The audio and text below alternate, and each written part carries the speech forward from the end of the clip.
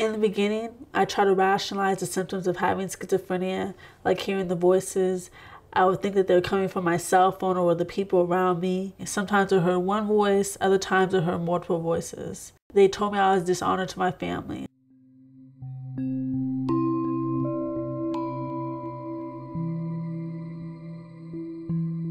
the symptoms got progressively worse during my years in, in college. Eventually, I, I just couldn't handle it anymore.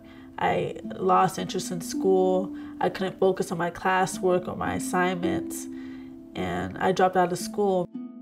I learned of my diagnosis through an unfortunate crime I committed while experiencing psychosis. I was very confused and afraid at the time.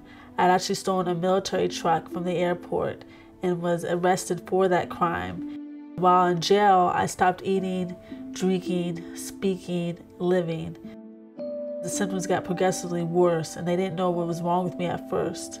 Initially, I did not know that I had schizophrenia, so I refused to take the medication. I was in denial, I didn't, I didn't have any insight. While I was in jail and I wasn't cooperating with my attorney, um, they had me take a competency test, which I failed. So I, later on, I got committed to a, ho- a state hospital where they diagnosed me. I'm able to talk about it now because it's it's in the past, and I know that I've, I've, I've survived it, and I'm coping with it, and continuously working on my recovery.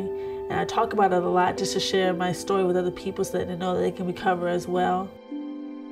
Society views schizophrenia as having as a person having a split personality or a person who is extremely violent or dangerous those stereotypes really bother me because I don't look at myself as a violent person. I don't have a split personality.